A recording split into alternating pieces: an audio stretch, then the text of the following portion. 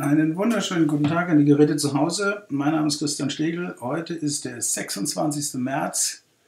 Wir haben rund 17 Uhr und in diesem Clip geht es über den Dow Jones. Zwei Wochen her, wieder Zeit. Die letzte Überschrift war, als ob da ein Deckel drauf ist. Und der ist nach wie vor hier oben drauf. Hier so in diesem Bereich, machen wir das Fadenkreuz rein.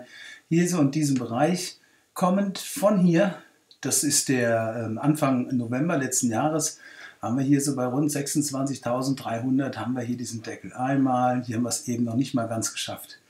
Auffallend ist, dass die Bänder extrem eng sind. Ja, das sind mit Mühe und Not 600 Punkte. Das ist für einen DAO sehr wenig. Das sind zweieinhalb Prozent. Viel mehr ist es nicht. Das ist ziemlich gering. Ja, wir hatten das mal hier hinten. Deswegen fasse ich mal hier alles zusammen, was sich hier momentan so ergibt. Das ist nämlich ein ganz erheblicher Klüngel. Das wird eine spannende Geschichte in den nächsten Tagen. Zum einen, wie gesagt, die Bänder sehr eng, extrem eng. 10 und 20 Tage Linie, ja, schmusen hier rum und genau da handeln wir momentan. 25.748. Dann haben wir hier die 200-Tage-Linie bei 25.156, können Sie hier rechts am Rand sehen. Und etwas drüber lag das letzte Verlaufstief.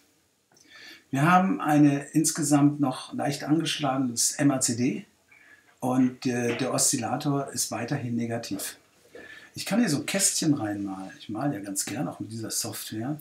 Und das hier wären dann für mich die wichtigen Punkte. Einmal hier und ich gehe unter die 200-Tage-Linie. Also ungefähr hier. Das mache ich jetzt mal ein bisschen größer. Die genauen Punkte, die ich meine, dass sie wichtig sind, ähm, ist hier die 26.233 nach oben. Und hier unten unterhalb der 200-Tage-Linie, so der Bereich 25.100. Je nachdem, was wir zuerst nehmen, glaube ich, dass dem bis zu 1000 Punkte folgen werden, nach oben oder unten. Im Moment muss ich davon ausgehen, dass so eine Bewegung eher nach unten geht. Also mögen tue ich es nicht, möchte es nicht kaufen. Für Optionshändler wäre die perfekte Strategie für sowas ein Straddle mit einer Laufzeit von ungefähr drei Monaten. Also Kauf eines Calls, Kauf eines Puts man kann es auch als Strangle machen. Beim Straddle ist es die gleiche Laufzeit, gleiche Basis. Beim Strangle ist es die gleiche Laufzeit, andere Basen. Das wäre dann Call hier oben, Put hier unten. Aber ungefähr so ähm, muss ich auch die Optionen aussuchen, die ich äh, Ihnen jetzt hier gleich nennen werde. Ich fange mal mit dem Call an.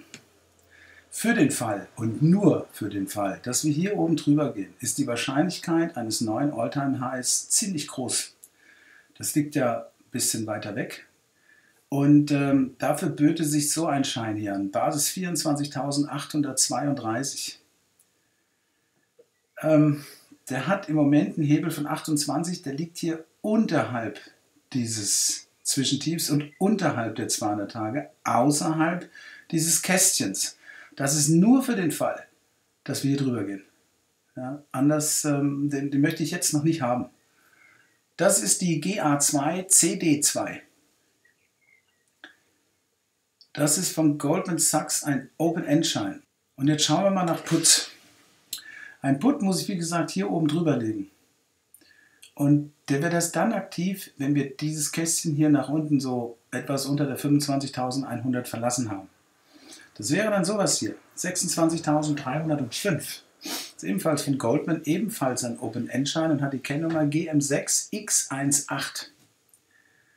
Man kann natürlich ganz frech sagen, ich kaufe beide Seiten. Ich kaufe so jetzt schon, sowohl den Call als auch den Put. Ähm, es ist mit K.O.-Schein eine gefährliche Sache. Der kann mal kurz den Kopf hier oben rausstrecken, löscht hier oben den, den Put und dann geht er runter und löscht den Call. Das ist eine böse Geschichte. Aber ich gehe davon aus, dass die Bewegung, die uns bevorsteht, größer sein wird. Ich habe nach wie vor die Ansicht, dass das zweite Quartal schlechter wird als das erste. Also ich rechne tendenziell eher mit Kursen hier irgendwo um diesen Bereich rum. Für die nächsten drei Monate, aber auch für den DAX. Deswegen ein lieber warten, bis die eine oder andere Seite mit Schlusskurs wichtig überboten wurde oder unterboten wurde. Ich wünsche euch ein Happy Trading und fette Beute. Bye bye, ciao.